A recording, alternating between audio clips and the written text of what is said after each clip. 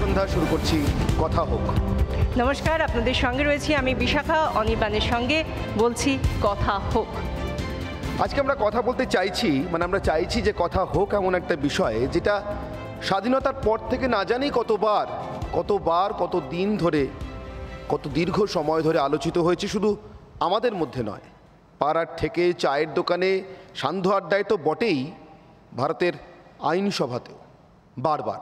একবার নয়, দুবার নয়, পঁয়ত্রিশ বার।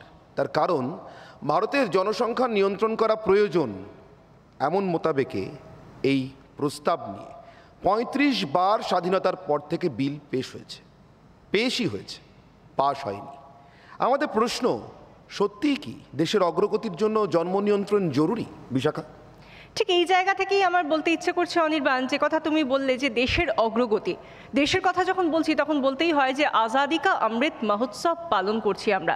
গর্বের পঁচাত্তর বছর। কিন্তু এই পঁচাত্তর বছরে আমরা কতটা এগোতে পেরেছি?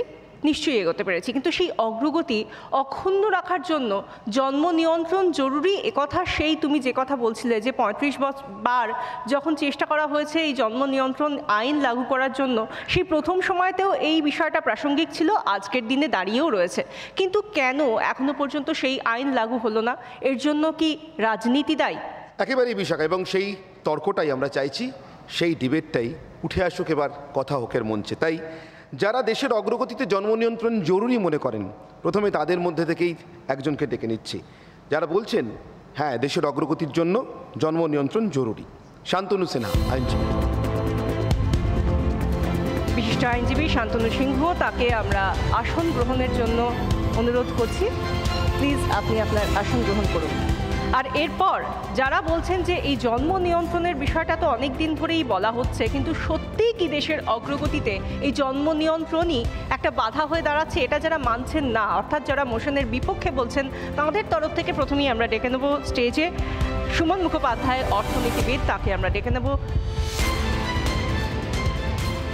বিশাখা, ডেকে নেব যারা মনে করছেন একইভাবে দেশের অগ্রগতিতে জন্ম নিয়ন্ত্রণ জরুরি, তাদের পক্ষের দ্বিতীয় বক্তাকে। প্রীতিময় চক্রবর্তী উদ্যোগপতি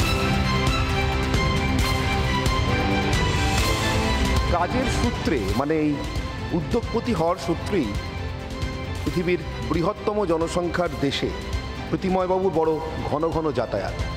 নিজের চোখে দেখেছেন চীনের ওয়ান চাইল্ড পলিসি। তার ফল যদি বিষময় হয়ে থাকে বা অমৃতময় হয়ে থাকে, সেটা আমাদের সঙ্গে শেয়ার করবেন অমৃত মহোৎসবের বছর। এবার আমরা ডেকে নেব এই মোশনের বিপক্ষে যিনি বলবেন, চিকিৎসক অজয় বিশ্বাসকে। চিকিৎসক অজয় বিশ্বাস, এবার অনির্বাণ, মোশনের পক্ষে যারা রয়েছেন। একেবারেই মোশনের পক্ষে তৃতীয় বক্তা, শ্রমিক ভট্টাচার্য রাজ্য বিজেপি প্রধান মুখপাত্র শ্রমিক বাবু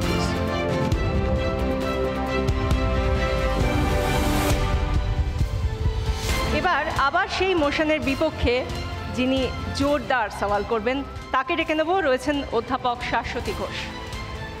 অধ্যাপক ঘোষকে মঞ্চে আসার জন্য অনুরোধ করব। বিশাখা আমরা তাহলে কথা শুরু করি। একদমই তাই, এবং কথা শুরু করতে গেলে অনির্বাণ, আমাদের যে যে বিষয়গুলো মাথায় রাখতে হয়, সেই জায়গা থেকে আমরা যখন বলছি যে, গর্বের পঁচাত্তর বছর, আর সেখানেই একটা প্রশ্ন উঠছে, তাহলে কি জনসংখ্যার নিরিখে আমরা কিছুটা পিছিয়ে যাচ্ছি, এগিয়ে যাওয়ার পরিবর্তে আমাদের জন্য কি আগামী দিনগুলো ঘোরতর আশঙ্কার? সেখান থেকে কিন্তু অনির্বাণ, অর্থনৈতিক একটা বিষয় উঠে আসে।